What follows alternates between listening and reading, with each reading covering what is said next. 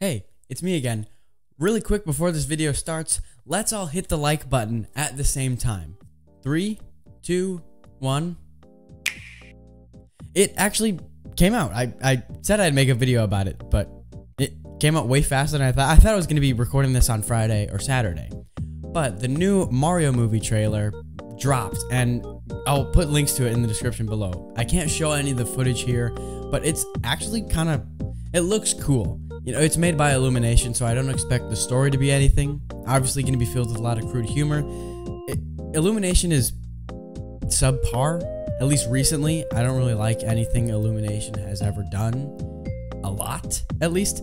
But honestly, I'm kind of have high hopes for this one. I have a feeling that it's going to be, you know, like the Sonic movie in the sense that it's just got the same characters but unique story. That's that's all we can hope for is that uh, the rest of the production runs smoothly and it gets out quickly. I'm super excited for it.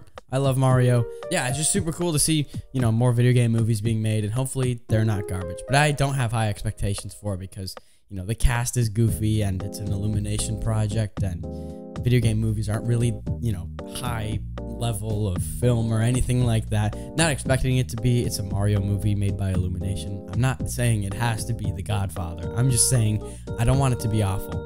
Yeah, I'm excited for it. I just wanted to make this little short video just to talk about some things in the trailer that I noticed. Number one, uh, Chris Pratt's voice is actually not that bad as Mario.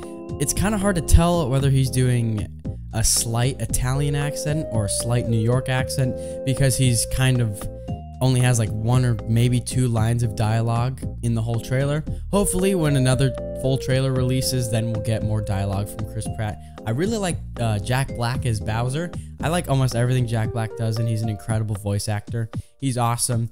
I don't really like the voice that is being done for Toad. It's a little bit too scratchy or not scratchy enough. I don't know. It doesn't sound like Toad to me.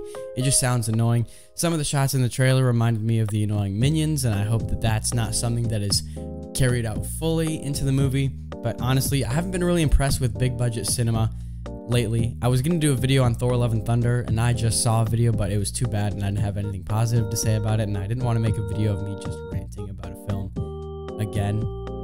Anyway, I really, really thought the trailer was cool. I'm super excited for some of the stuff. Maybe we'll get updates on a new Mario game soon. Who knows? And maybe uh, when the movie releases in April, I'll make April like a Mario month, or we'll have a few weeks to celebrate everything Mario.